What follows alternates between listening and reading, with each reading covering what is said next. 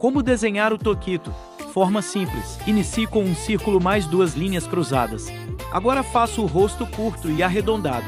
Nesse espaço faço os olhos, um arco em cima e outro embaixo mais um círculo. Aqui no meio dois tracinhos para o nariz mais um arco no círculo para a boca. Agora faremos as pontas do cabelo na testa, e basta um traço para as sobrancelhas. Faça duas linhas nas laterais do rosto. E agora fechamos aqui em cima.